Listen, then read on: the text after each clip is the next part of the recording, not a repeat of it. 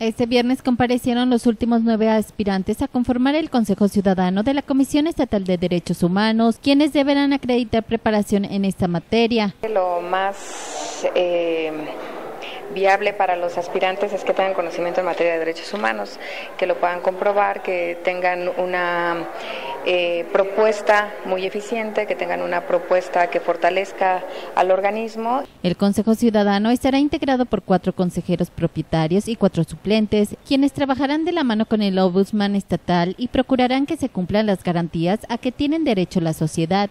Fortalecer el plan de trabajo, fortalecer las acciones de promoción de procuración de la propia Comisión Estatal de los Derechos Humanos. Una vez que la Comisión Legislativa de Derechos Humanos y de Justicia designen a los ocho consejeros, la lista se presentará ante el Pleno del Congreso para su votación y eventual aprobación. Con información de Miguel Ángel Sánchez, informa Cuasar TV.